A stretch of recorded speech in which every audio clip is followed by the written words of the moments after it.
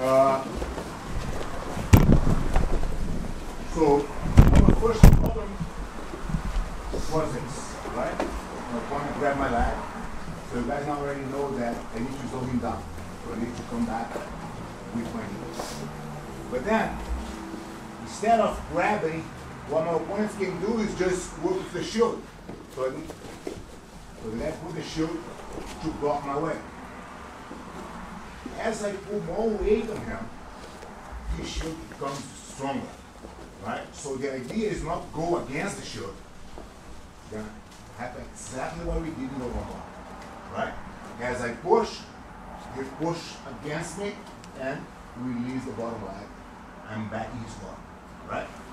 So every time my opponent put the shield on me, instead of going forward against the shield, I gotta walk back again to put my knee on his stomach. Right? I know that you guys want to do this the knees like fast, but as I get the shield in front of me, I gotta walk back. Now, what I gonna do? I'm gonna set up my grips, collar and sleeve. I'm gonna cross the knee again, and, but now when he try to work with the shield, I'm gonna be like this. Look, my hand is on the ground, over the shoulder. Okay?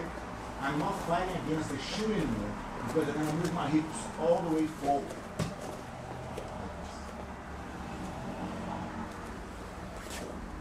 He has a shield. I throw him down. When I go down, my hand goes to the floor, my knee is gonna drop to the ground, and I'm gonna put my my hips forward. So there's no shield, see? Put the shield. Put the shield.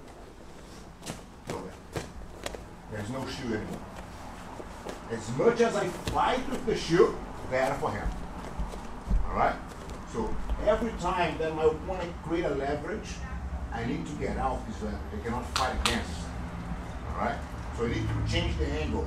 So his hips outside, that's why his, his shield is so strong. So I'm gonna bring his knee or his hip to the middle.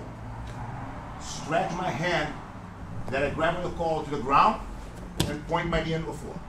You're gonna try to look the shield, I just move forward. Drop the hip. And pass the ball. All right? Any questions? One more time? You guys got it?